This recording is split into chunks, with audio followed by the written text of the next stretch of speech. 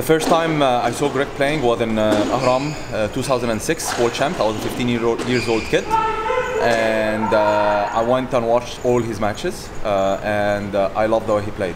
He inspired me so much the way he played that tournament. He lost unfortunately the final. He had a lot of match points, but but I remember after this tournament he was the one I had in my mind. I just wanted to do everything he did. It was so inspiring actually watching him play at 22 years old. He made the final and. It was unbelievable. I, I remember the way he played there. It was unbelievable. My first British Open win was against him in the final, and uh, the moment I won the last point, he hugged me, and his team all came and congratulated me because they knew how big of a moment it was to win that British Open because he had it before me. Uh, he won it twice, I think, before. Uh, he, he had it, he had it two times in his bag already, and um, he he was uh, honestly so kind, and he had such a good heart, and uh, uh, I mean he has, I mean not just that before. He has such a good heart, and uh, of course, whenever I asked him for help or, or or any advice, he was always advising me playing with there weren't many favourite memories from playing him. He was uh, he was a, a, fierce competitor, and I guess um, I sort of I sort of witnessed him as a player from a you know from a very young age. Uh, he was obviously a formidable junior player, um, and then towards the end of my career, he was obviously just. Um, coming through to the sort of heights that he reached in his career. So um, it, we had some great matches. Um, think I beat him up a few times. He certainly beat me up a few times, probably a few more. Um, but yeah, just a fierce competitor. Um, wore his heart on his sleeve, as everyone could see. Um, you know, he was very emotional at times, and, and um, I think that just sort of you know led to him being one of the sort of great characters and great players of the game. Um, I think as a, as a player, I was certainly glad to retire and not have to not have to play him anymore, to be honest.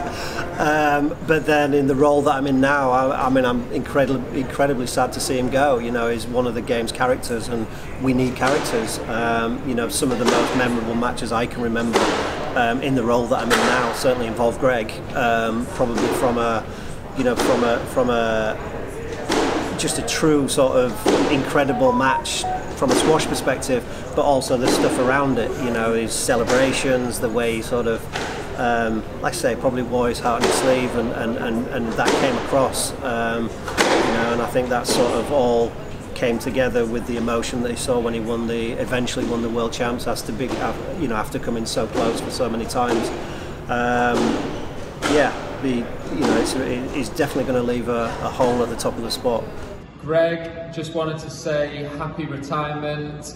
These things are often made out to sound really sad, but I think it should be a celebration of an amazing career, the best French player of all time, an amazing rival of mine and the whole of our generation.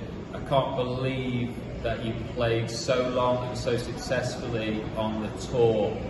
Looking back, we had some amazing battles. We've known each other since we were 12 years old.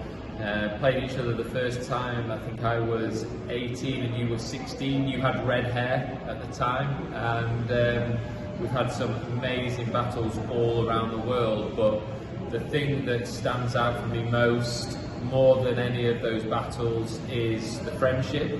You taught me so much about how to um, take defeat with respect for your opponent and how to have the equivalent of a beer in the bar after and show great respect and camaraderie with your opponent. I learned so much from you in that respect. I learned how to be confident on the court. Your style was so unique. Um, you had charisma, you still do. You've got a wonderful family, both on and off the court, and I wish you all the best in the future. Well, you know, I mean, I can't. It wasn't always easy. I mean, I'm not gonna. Let's not sugarcoat this, and I don't think he'll mind me saying that. Let's, you know, you know, we've got to be uh, honest about it. You know, we were both sort of playing at the very top of our levels, and it's not always going to be nice, is it, on there? And it's, you know, we were we were very different characters, um, which is what makes makes thing. You know, that's what what people like. You know, it's no point us all being the same, and he was. We were very opposite, really. Um, you know, I'm, I'm quiet and calm, and he's um, boisterous and demonstrative and lets lets his feelings out very expressively and, and that's what people loved about him quite rightly as well it was at times it was great to see um, and the entertainment factor no doubt that translates to fans it really does and it also translates to people who aren't fans of the game. You know, so it was, it was a great thing for squash. But um, you know, we had some tough tough battles on court and. Um, you know, there's some great ones that I remember. I remember playing him here in Qatar, we got a bit, we got a bit uh, with each other. I think, if I remember, I remember taking his racket out of his hand and throwing it on the floor, and I got booed, if I remember rightly, because um, he was usually the favourite, the crowd favourite. Um, you know, but then massive respect as well, and always off the court. You know, he was a very affectionate person, um, very respectful. Greg, I wish you all the best for your new chapter.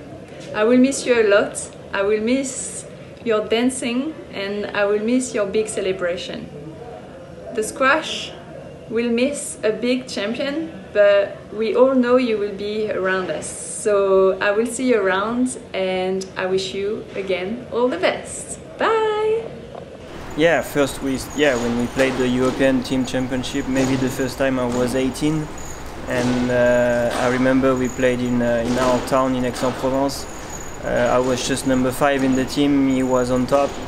Um, sharing that time with Thierry, Greg, um, and all these guys, it was of course just an honor and and it gave me a lot of um, experience as well. Uh, I just can't say uh, well thank you enough for, for them because Thierry and Greg had, they had been for me all of my career. Uh, yeah, I just uh, hope he'll uh, he'll enjoy the, the new life and I hope I can uh, put the French flag on top again. Uh, maybe well at least in the top 10 and and I would never be of course the, the, the player I am today without without him, for sure. Yeah, I, I, was calling a friend, you know, before I play with with Gregor Gaultier, you know, I said to him like, oh my God, like the time flies, you know, like uh, two years or three years, I was uh, only like clapping for him, you know, cheering for him. Uh, I like the way he plays. I like the way you know he celebrates inside the court, having like like he's he's so good for the sport, you know, and um, it's a loss for the sport, a loss for all of us, for definitely for sure. So uh, when I, I played against him, I I don't want to think that I'm playing against you know idol, you know, because like uh, he's an idol for me. Shorbagy, Mohamed Shorbagy, you know, Karim Abdel Gawad, they are all like I learned from them everything. So uh, I'm so pleased that I'm playing with them and like to to be able like to catch Greg Gaultier before he retires. It was my it was a dream and it came true. And also like I think after four or five years, I will remember that I, oh, I played with with Greg Gaultier. So uh, so I wish him all the best. You know. Yeah, I always uh, I didn't watch much squash when I was growing up uh, in New Zealand actually, but um, he was always one of the the ones that I sort of admired. You know, he, he can go into the splits, bounce back out, like his his athleticism was just um, unbelievable. And then when I actually came to Holland, I was lucky enough. Um, he played for the same league teams that I trained at in Holland, and he came for for a league match, and we, we got on court, and yeah, just the intensity. Um, you know, I was very very nervous uh, training with him. You know, he's a legend, um, Gaultier, and I looked up to him. Someone I tried to you know em- emulate a little bit. Um, but yeah, I mean, our first training session, we played a few rallies, and I swear I sent him the wrong way, and um, I was super happy. You know, that doesn't happen for me much, but to do that against Greg, and then uh, you know, I just turn around like quite happy, and he's just like, play a lap. Oh, sorry, just had to chuck him the ball and replay the rally. So I thought that's that's. You're not allowed to send uh, Greg the wrong way in practice anymore. So. so yeah, it was a pleasure to have him uh, on, on the same generation as me. I learned a lot from him, and of course we have tough battles, but but after all, uh, I think I, I, have a good friendship with him, and hopefully in the next year we can, you know, uh, do things together and see still in each other. Not not from a competition, you know, match which is very tough when I play him, but more like uh, for having a beer or having a chat, we will be very good and remembering the the thing we spent all these years. I, I play European individuals with him. I play like uh, I lost four finals against him. I beat him once and uh, but yeah, like I say, I'm, I'm, since junior we play so many times PSA and, and Europeans and teams, uh, individuals. I mean, so much. But uh, and what I say like is like every match against him was so tough, so difficult. He's such a difficult player to play, so powerful. His movement was one of the best. in, in the last 20 years. I think his movement was so quick, so fast, so balanced when he moved. And he can play really good shots from very tough positions because of his power on the legs, on the on the core. Uh, if at the end of my career I, I, can win at least one major title, I will be very proud of. And uh, he done so many in squash, and uh, he put the, the French flag uh, very high in the squash uh, in the squash world.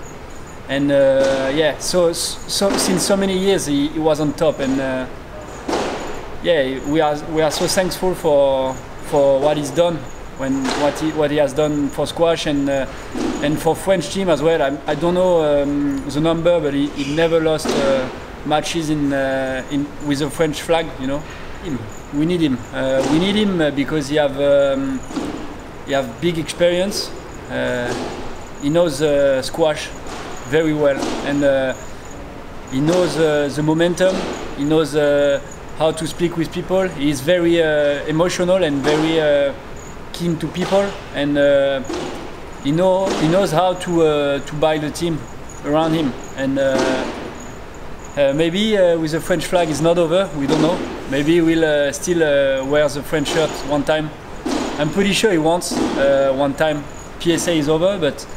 Um, French French squash and French young athlete need Greg to for the future and for like to keep the French flag very high.